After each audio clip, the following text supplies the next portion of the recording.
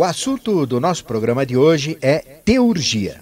Esta palavra teurgia vem do grego teurgia, de Theos, que significa Deus, e ergon, que significa obra, e significa, como um todo, a comunicação com anjos e espíritos planetários. É o conhecimento de práticas classificadas como sagradas, para fazer acontecer ou agir a influência divina, onde e como se quiser. É uma arte mística que o verdadeiro ocultista ou mago desenvolve à medida que participa conscientemente dos planos das hierarquias e que também colabora na execução desses planos junto à humanidade. E à medida que ele executa pela humildade o sacrifício de si mesmo em prol de seus irmãos em evolução. O teurgista é quem pratica a teurgia, a comunicação angélica com entidades planetárias, com deuses de luz e conhece os meios de atraí-los para a Terra, para nossas dimensões de percepção. Para a prática da teurgia, o teurgista necessita ter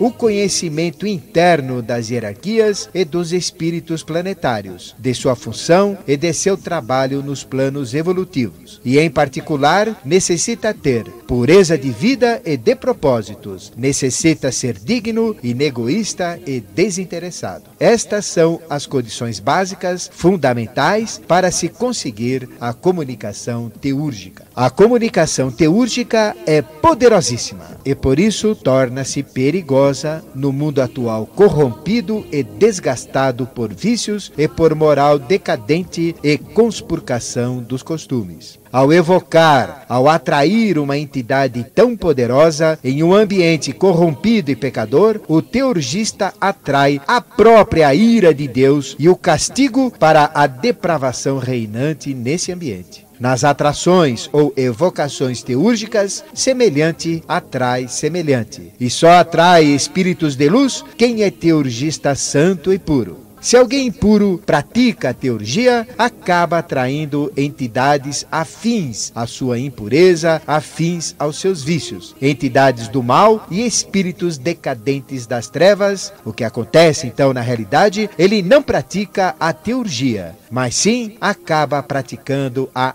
goécia. A goécia ou, em outras palavras, a própria feitiçaria. A magia tem três divisões. A primeira é a maior, conhecida como a teurgia ou magia teúrgica. A magia branca, que é a superior e ligada às entidades de luz, do bem e evolutivas. A segunda é a goécia, com vários tons de cinzento, desde o clarinho ao cinzento bem escuro, até atingir o máximo de escuridão da goécia, que é a própria magia negra, ligada às entidades das trevas trevas, do mal e involutivas. A terceira magia, o tipo de magia, é a magia natural, que usa as forças e os espíritos da natureza conforme sua finalidade e função na própria natureza. A primeira escola de teurgia prática foi fundada no período inicial cristão por Jâmblico, o grande teurgo, místico, escritor e filósofo platônico, entre os séculos 3 e 4 de nossa era cristã. Ele era cristão puro, mas odiado pelos cristãos da época e contrários à prática da magia cerimonial fora de um templo típico ou fora de um santuário que eles tinham. Jâmblico desenvolveu o meio mais eficaz de se contatar o ego superior, o eu superior de alguém, usando o seu próprio corpo astral. Ou seja, o teurgista pode revestir o seu próprio corpo astral ou o corpo astral de uma outra pessoa pessoa com a aparência de seu eu superior, fazendo surgir o eu luminoso, o eu brilhante, o algo eides, e se comunicar com ele como expressão espiritual crística com hierarquias angélicas, com espíritos planetários. Esta prática, no entanto, é perigosa, pois está condicionada a práticas e a regras muito rígidas quanto à pureza de ser e quanto a fatores éticos e morais seguiram os ensinamentos de Jâmblico, o grande mestre neoplatônico Porfírio, e também Plotino, o grande sacerdote egípcio. A aparição divina, usando o corpo astral de uma pessoa, é chamada de fasmata luminosa, de algoeides, de simulacras ou imagens divinas. E essa criação torna-se perfeitamente visível, perfeitamente tangível e perceptível pelos nossos cinco sentidos físicos. O evocador ou teurgista deve manter-se em estado de completa, completíssima pureza de corpo, sem emanações de carne e sem emanações de álcool, e também com pureza de alma, com pensamentos e sentimentos nobres. O ambiente deve ser purificado com incensos de sândalo, o local de evocação deve ser protegido com círculos mágicos que afastam os maus espíritos, com egrégoras positivos, e nestas condições o teurgista pronuncia então certas palavras sagradas ligadas ao Deus interno, ligadas também ao Deus universal, e pelo poder de Kundalini sai de seu corpo físico com a consciência em seu corpo astral. E nesse corpo astral, fora do corpo físico, adquire a aparência da entidade evocada, que se torna iluminada, que se torna visível aos que participam dessa experiência. O contato com espíritos planetários, com hierarquias angélicas, com deuses e mestres é direto, intenso e muito, muito gratificante e evolutivo motivo. E intensifica o uso do mental abstrato, da intuição e da percepção crística. Depois, concluída a experiência, a aparência se desfaz e o corpo astral volta à sua configuração normal, retorna ao corpo físico do teurgista ou de quem ele retirou e a experiência então se encerra. É uma mediunidade superior que usa o corpo astral, ao passo que as mediunidades comuns que existem no nosso dia a dia usam apenas o corpo etérico ou vital para a manifestação astral. Querido e querido ouvinte, como será que funciona a teurgia? Qual será a diferença da mediunidade teúrgica com a mediunidade comum? O teurgista deve ser obrigatoriamente um vegetariano, como foi Pitágoras, o nosso grande mestre Pitágoras, Pitá de serpente e Gorá de sacerdote? Como são feitos os círculos mágicos? Para que servem? Os egrégoras ou formas pensamentos substituem estes círculos mágicos em proteção na teurgia? O que as práticas teúrgicas podem provocar? Por que será que a teurgia chega a ser perigosa? O que são práticas cerimoniais? Quais são as evocações de espíritos planetários? Como chamar um? Como o eu superior de alguém pode adquirir aparência usando o corpo astral do teurgista ou o corpo astral de um outro ser? O próprio corpo astral de alguém pode adquirir a aparência de seu eu superior, de seu Cristo interno? O que é a simulacra divina? O que é a fasmata luminosa? O que é a percepção disso tudo? Como funciona? A personificação da alma, será que é umbral? A personificação do destino é o próprio umbral? Será que é? E é um umbral que define se a experiência teúrgica é ou não recomendada? O que se pode contactar com a teurgia? Quais são as hierarquias angélicas? Que mestres podem ser contatados? Quem pode praticar a teurgia? Como saber se a entidade é a entidade do bem ou a entidade do mal? Quais são as regras para se praticar a teurgia? E o que fazer para se tornar um teurgista? Você tem dúvida? Então ligue para o telefone do ouvinte, você vai fazer perguntas sobre o tema hoje, teurgia energia. Nós já temos ouvinte na linha. Alô? Alô? Oi, quem fala? É Márcia. Tudo bem, Márcia? Tudo, Marco Antônio, e você? Tudo bem. Que bairro você fala, Márcia? Eu falo da Penha. E qual é a pergunta, Márcia? Olha, a pergunta seria a seguinte: eu gostaria de saber do professor como é que se manifesta a ira divina dentro da nossa vida cotidiana e como que a gente faz para ficar mais tempo possível com o nosso eu superior para afastar essas consequências de Gósia, né, que ele falou? Sim, sim. Eu gostaria de saber como é que isso poderia ser feito para afastar essas manifestações. Tá bom, Márcia, você ouve a resposta pelo rádio, Tá, então? muito obrigada. Obrigado a você. Tchau.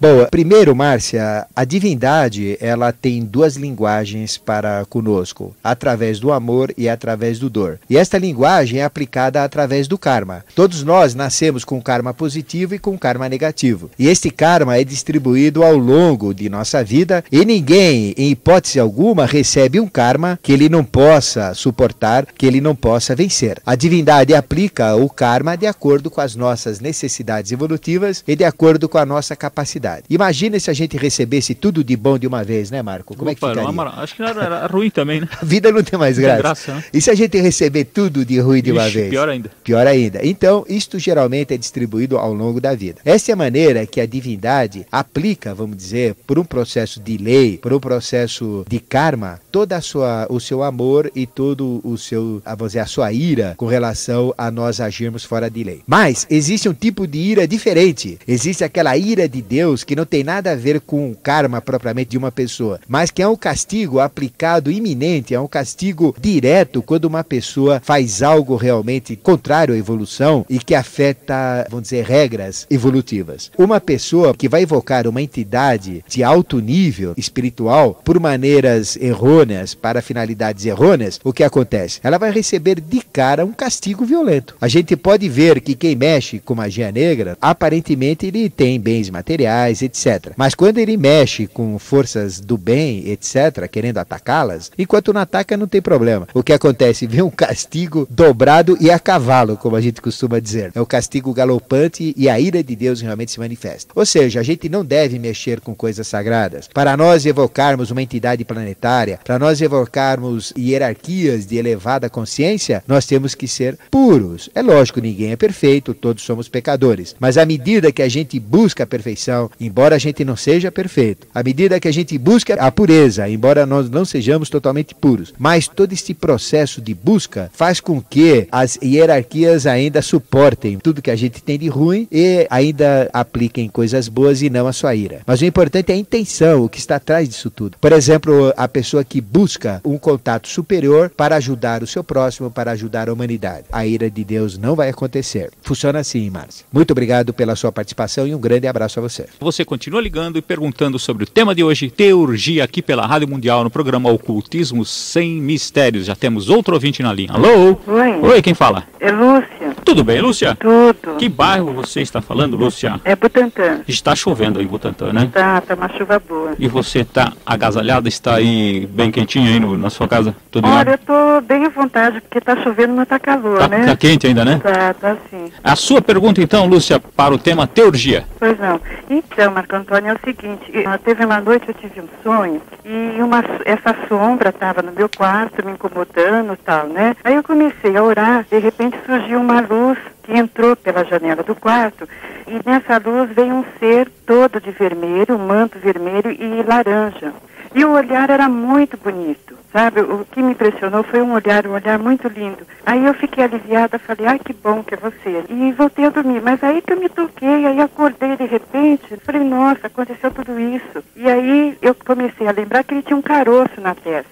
E aí o que me incomodou é esse caroço. Bem entre os olhos, assim? Entre os olhos, um lombo. Sim. Mas o olhar era muito bonito. Ô, professor. E agora, professor? Quem é, é esse ser aí que ajudou a Lúcia? Olha, Lúcia, você vai ouvir pela rádio? Ah, você dá a oportunidade a uma outra pessoa? Obrigado, Lúcia. Bom, você, obviamente, você estava naquela fase de saída do corpo físico, ou seja, você estava entrando numa viagem astral. E nesse tipo de viagem astral, você passou por esta experiência e teve esta percepção. Normalmente, a gente enxerga pelo canto dos olhos, pelos bastonetes do canto do olho, a gente enxerga as entidades da sombra. Então parece que tem sempre uma sombra passando próximo de nós, etc. Quando a gente está entrando numa viagem astral, essa percepção é muito maior e esta sombra, então, ela vem na nossa frente e a gente percebe. Intimamente, a gente tem uma sensação de desconforto com aquela sombra e sabe que aquilo é uma coisa não muito agradável ou com vibrações até negativas. E você rezou, evocou uma força maior e surgiu então esta entidade com esta capa ou com esse manto laranja do vermelho e este ser com um olhar muito bonito, aquele calombo que você fala no meio da testa e provavelmente com o queixo bem triangular rosto triangular. Você desligou porque nós pedimos, mas deve ser um rosto triangular. Rosto Temos, ou queixo? Como é que é? É, o, o formato do rosto Ele triangular. Ele termina né? numa é, espécie de, isso, de biquinho, assim, triangular. fazendo triângulo, não é, professor? Isso. Então nós temos hierarquias espirituais, nós temos vários tipos de anjos, várias modalidades de hierarquias. Existe uma cujos seres são exatamente como você mencionou. Eu acredito, pelos meus estudos, pelas experiências que eu já participei, que esse tipo de hierarquia está ligado ao planeta Marte, a terça-feira, e ao metal ferro. Então, são hierarquias ligadas ao raio vermelho ou ao raio marciano. E a configuração desse tipo de ser é exatamente como você falou. Simplesmente você não deve ter medo, e já que aconteceu uma vez, é muito fácil tudo isso se repetir, né, Marco? Professor, se repetisse, se for numa quinta-feira, é um outro ser com uma outra cor. Não, é, aí pode ser. Pode ser se ela tiver essa capacidade, ou pode ser também do próprio raio da terça. Mas normalmente, acredito que isso até aconteceu numa terça-feira. Se você pensar bem, Lúcia, voltar no tempo. Mas pode acontecer também no outro dia de semana. Mas a maior probabilidade seria na terça-feira. Veja, Lúcia, que tudo isso é importante. Você não deve ter medo. E se você já passou uma vez por essa experiência, é sinal que você tem uma determinada proteção e você deve usar essa proteção. É tanto que o ser deu tranquilidade. Ela se sentiu isso, tranquila, ela se sentiu né, bem, né? Como ela falou. Parece Então- que ela até conhecia. Ela diz assim, poxa, é você. Assim, parece que estava íntima né, É, desse então, ser, né? O que, que você deve fazer, Lúcia? É voltar a ter esse contato, sem medo, sem nada, para então entrar nessa realidade. E você então vai ter uma ajuda muito grande nesse caminho espiritual, nesse caminho em busca da teurgia, em busca dessa magia que permite esse tipo de contato. Às vezes esse contato, ele não acontece pela nossa vontade, ele não é provocado. Normalmente ele é espontâneo. No seu caso foi provocado, você pediu, você orou e ela veio, limpou a área e deu essa sensação de conforto, eliminando o desconforto da sombra. Procure o espiritualismo, viu, Lúcia, e busque este contato que você vai ter muito sucesso. Que aconteceu uma vez, vai acontecer a segunda, com certeza. Um grande abraço a você e obrigado pela sua participação. Teurgia. Aí temos outro ouvinte na linha. Alô? Alô, Oi, quem fala? meu nome é Lídia. Oi, eu Lídia. sou uma estudante de obiose. Oi, Lídia. Eh, moro aqui em Jardim Três Montanhas, olha, pertence a Osasco.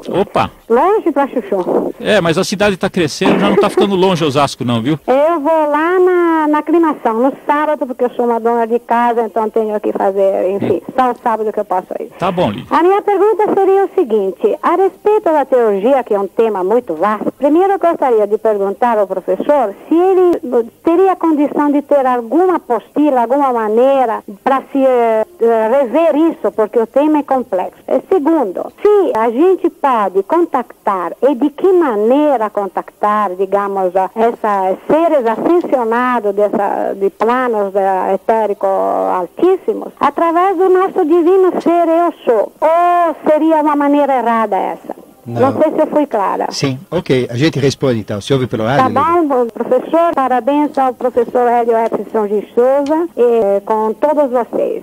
Ok, nós agradecemos em nome dele. Obrigada, eu que agradeço, professor. Tá, um grande abraço. Bom, primeiro, Lídia, vamos falar sobre o conhecimento. Esse tipo de conhecimento, ele não é normalmente publicado em livros que a gente chama de profanos ou livros que a gente encontra em qualquer livraria. Mas existem determinados conhecimentos chamados de revelações, determinados conhecimentos superiores, que à medida que a gente entra dentro de um determinado nível nos estudos ocultistas, a gente tem acesso a esses livros. Então aí sim a gente pode entender muito bem, através das revelações, que existem regras para a pessoa poder ler estes livros. Então aí entra em contato com a verdadeira essência da teurgia. Ou seja, quando você ingressar na ordem interna da Sociedade Brasileira de Obiose, que chama-se a Ordem do Santo Graal, aí sim você poderá ingressar em determinada biblioteca e ter acesso a esses livros, porque existem regras, existem determinadas condições para ler sobre determinados assuntos. Um deles, por exemplo, a teurgia é exatamente isso. Mas, independente disso, se você se interessar pela teurgia, se você buscar o conhecimento teúrgico, as portas se abrirão e as hierarquias conduzirão os seus caminhos para que você aprenda sobre a teurgia. O importante é querer, o importante é buscar. Agora, quanto àquele processo de usar o eu superior para ver, para entrar em contato com o mundo espiritual e com as hierarquias, é uma maneira difícil, é uma maneira realmente perigosa. Pelo seguinte, porque o nosso eu superior, ele não permite se mostrar como um ser crístico. Ele vai se mostrar primeiro através de uma projeção do próprio karma, que é tudo que a gente fez de bom e tudo que a gente fez de ruim, que é o nosso karma, e através de todas as nossas qualidades ou através dos nossos defeitos, que é a mesma coisa. Ou seja, o nosso próprio psicomental personificado como ser espectral. Este ser espectral, ele é chamado de umbral. E ele é feio, viu, Lídia? Por melhor que a gente procure ser, o nosso umbral ele é feio, porque nós temos mais perfeições do que qualidades. É só a gente fazer um balanço em nossa vida. Nós somos egoístas, nós temos defeitos, nós temos inveja, nós temos tudo. Quanta coisa de ruim a gente tem. Então tudo isso cria deformações nesse corpo. Então a gente vai ver um monstro. E a gente só vai ver a nossa realidade se a gente tiver condições psíquicas e grau evolutivo, se a gente tiver consciência evolutiva para poder enfrentar este confrontamento, que chama-se encontro com seu umbral, que o espírito estuda muito isso, porém de uma maneira diferente do que eu falei. Mas quando uma pessoa é pura, quando uma pessoa ela tem valores evolutivos, essa figura não é tão feia. Ela pode ser usada para a plasmação de um outro ser usando o corpo astral desta pessoa. Isto é uma prática teúrgica, prática que foi desenvolvida por Jamblico, como eu falei no início do programa, mas ela é perigosa porque é mais fácil fazer a projeção do que a gente é de ruim, desse monstro que a gente é em termos de alma, do que o nosso eu superior, límpido, puro e tudo mais. Por isso que ela é difícil. E somente um ser de hierarquia, somente um mago, somente um adepto, somente um ser perfeito é capaz de dizer este tem condição de ter a sua alma usada. Então o que, que eles fazem? Normalmente eles não usam a alma de uma outra pessoa, o corpo astral de uma outra pessoa, mas eles usam o seu próprio corpo astral, porque eles já passaram pelo umbral e já transformaram esse umbral num ser de luz, num ser bonito. O que acontece? Eles usam o seu próprio corpo astral para projetar o eu superior do outro. Então ele usa o corpo astral deste mago, deste ser que é puro, deste santo, podemos dizer, para projetar o corpo astral de uma outra pessoa. Aí então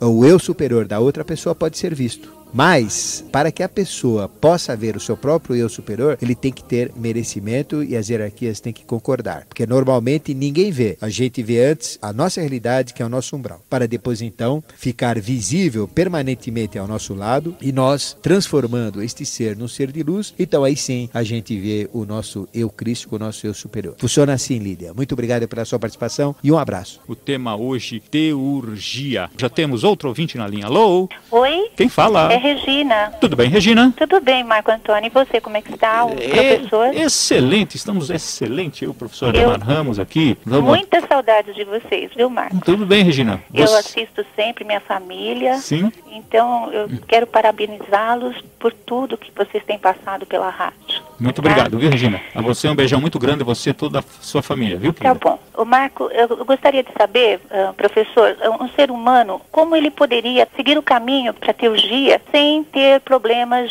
de perigos, um caminho que não prejudique e que esteja indo em contato esse desenvolvimento. É porque os caminhos são sempre perigosos, os caminhos da iniciação, né, professor Ademar Ramos?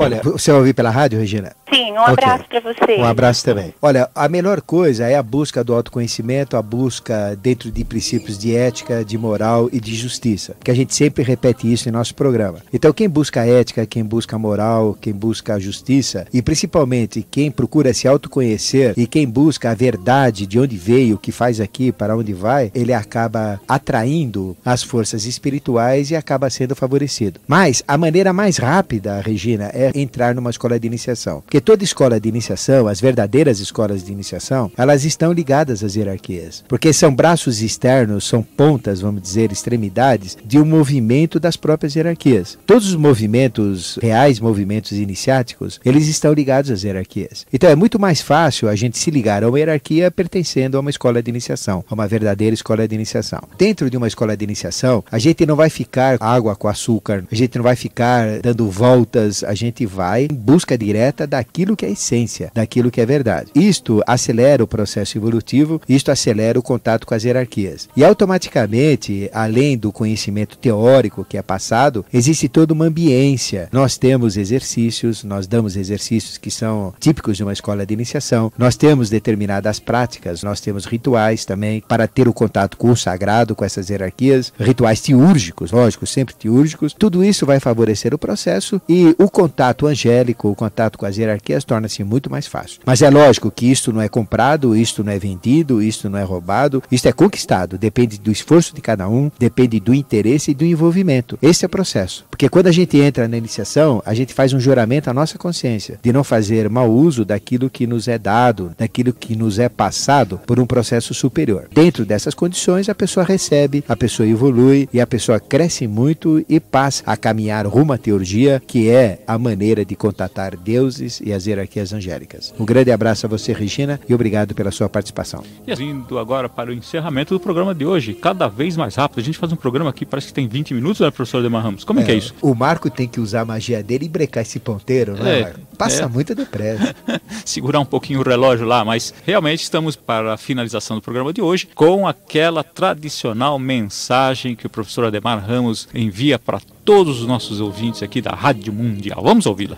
É, o nosso programa Ocultismo Sem Mistérios está chegando ao seu final. É como mensagem a você, meu querido ouvinte, para que você tenha sempre o bom viver, uma vida mais natural possível e sempre em perfeita harmonia com todas as forças e com todas as leis ocultas da natureza. As nossas recomendações sobre o assunto que nós tratamos hoje, que foi teurgia, são estas que eu vou passar. A teurgia, como o próprio nome diz, tel de Deus e ergon de obra, é a própria obra de Deus. E como a obra de Deus é grandiosa, grandiosa e magnífica, como nós vemos manifestada na natureza, nos reinos evolutivos e no universo, a teurgia também é grandiosa. A teurgia permite o contato com o nosso eu superior e permite o contato com o eu superior de outras pessoas. E o eu superior é a centelha crística, parcela do Cristo universal que comanda toda a evolução que existe. E esse contato, por sua vez, abre os caminhos, abre as comunicações para todas as hierarquias angélicas e espirituais. Abre caminhos para contactar anjos, arcanjos, arqueus ou principados, exusiais ou virtudes, dinameis ou potestades, quiriotetes ou dominações, tronos, querubins e até mesmo serafins, sintetizando com todas as hierarquias dos raios divinos que idealizam, que criam as ideias, e com todas as hierarquias dos raios primordiais que realizam as ideias que plasmam o ideal, com também os espíritos planetários, com mestres ascensionados e principalmente com o Rei do Mundo ou o planetário, entidade espiritual que tem como corpo físico o nosso planeta Terra. O Rei do Mundo, o ser que comanda todas as religiões, todas as ordens secretas, todos os movimentos filosóficos e toda a evolução mineral, vegetal, animal e hominal em nosso planeta. Nós trabalhamos em prol do Rei do Mundo. Nós somos seus servos. A teurgia é o caminho da realidade suprema, a chave para encontro com nosso eu superior, o meio para comunicação angélica e comunicação com hierarquias. É a magia suprema da vida, é a magia suprema da manifestação. A teurgia não é dada, não é emprestada, não é comprada, vendida, roubada, mas sim conquistada. Conquistada pela humildade, conquistada pelo desprendimento, pela pureza de ser, altruísmo altruísmo e pela doação pessoal em prol das hierarquias, em prol da evolução. O trabalho de manter a evolução nos reinos da natureza, principalmente o reino hominal a que pertencemos. A teurgia está disponível para ser usada por você, mas para não atrair a ira de Deus por mexer indevidamente com coisas sagradas, mas sim atrair a proteção e atrair todo o seu potencial superior e divino, busque sempre transformar transformar tudo que você tem de negativo em positivo, de tristeza em alegria, de reclamações e agradecimentos, de lamúrias em exaltações, de desespero em confiança, de desequilíbrio em equanimidade, de dúvida em certeza, de fracasso em sucesso. Busque o bem, busque o belo, busque a ética, busque a moral, busque a justiça e lute muito para elevar o seu nível de consciência, o nível de consciência dos que cercam a você, dos seus familiares, dos seus amigos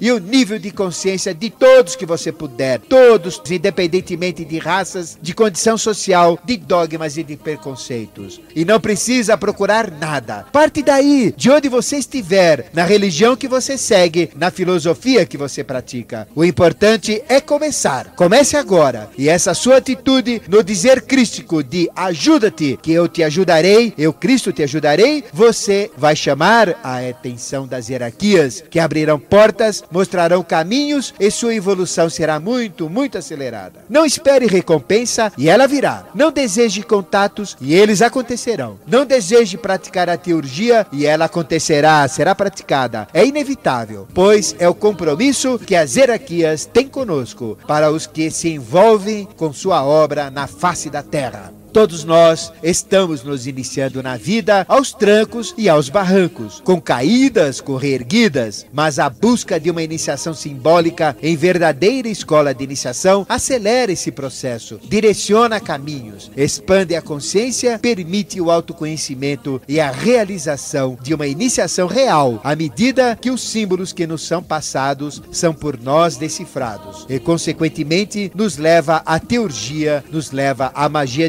Busque esse caminho. E, se você que está me ouvindo optar por nós, estaremos à sua espera na Escola de Iniciação Eubiótica que está iniciando cursos preparatórios para juntos, de mãos dadas, buscarmos e encontrarmos a verdade de nossa origem, de nossa existência e de nossa finalidade, a verdade que a tudo e a todos rege.